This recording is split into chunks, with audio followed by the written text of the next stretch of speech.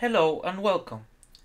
To be able to interact with the content of this unit, you will need to download Max MSP. You can download it from cycling74.com and you can activate your copy as a 30-day trial for free. Go to https colon slash slash cycling74.com slash downloads and find the appropriate download for your computer. It depends if your computer is Mac or Windows based on 32 or 64 bits. Download and install the software.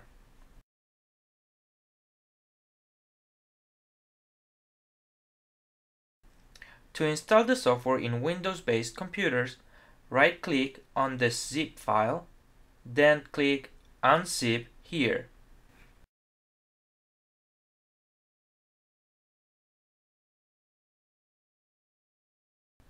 Double click on the setup file.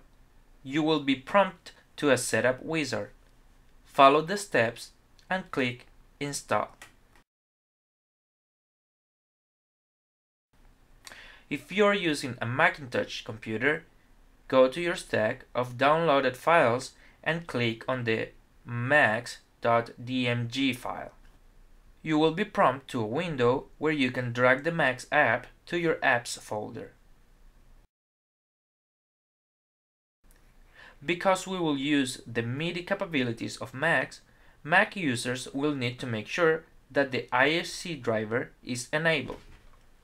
To do this, launch the Audio MIDI setup. If you don't find it, you can go to the spot search and write MIDI. Select Audio MIDI Setup from the menu. You need to access the MIDI Studio. If it does not open with the MIDI setup, go to the Preferences and check on Show MIDI Studio. Double-click on the IAC driver icon. Activate the Device is online checkbox. When the driver is offline, it appears as translucent. When it's online, the colors become solid. You will also need to download the folder with the examples in the link on the description of this video.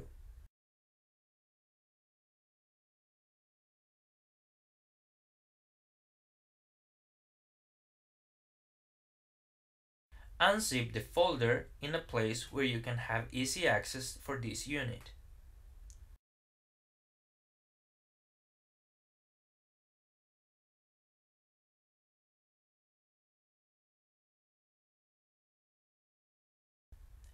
When you open Max for the first time, you will be offered to take some tutorials.